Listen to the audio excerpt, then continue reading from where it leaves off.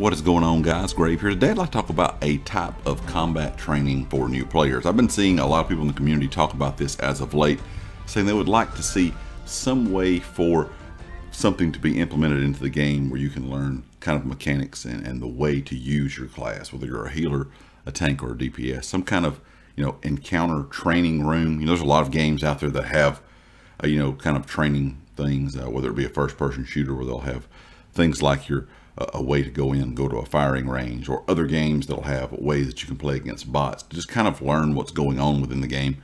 And a lot of people in the community are saying they would like to see something like that in ESO.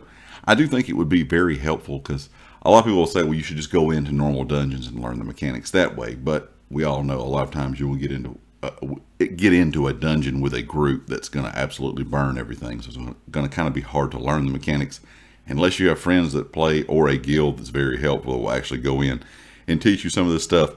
It's kind of a, a lot for some new players. So I think having the option to have some type of encounter, like training room, whether it be bosses or, you know, smaller kind of larger enemies or, you know, just a group full of adds, a way where you can learn how to use each of your class abilities, also learn your rotations.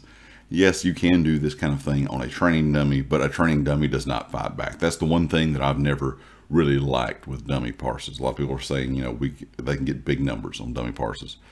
Well, if, if you're good at your rotation, you know, and you get good at that rotation, no matter who you are, you're going to be able to get a big number on a dummy parse.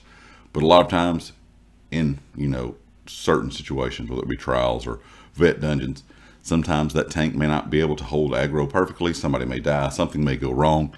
A boss will start to move around. And you need to know how to be able to block, roll, and still cast and fight with all that going on at the same time, not just sitting there hitting, you know, a target dummy. So I think that's one reason a lot of people would like to see some type of training uh, for ESO. Uh, I think it would be a great idea if they would add something like this in. I'm not sure if ZOS would ever do it, but there are a lot of people in the community talking about it as of late. Hopefully they're going to see some of this and kind of you know start to think about adding something in because like I said, there's other games out there, whether it be MMOs, RPGs, first-person shooters that have some type of training that you can do if you want to learn how to do different mechanics or things in games. So leave me a comment. Would you like to see something like this inside of the Elder Scrolls Online?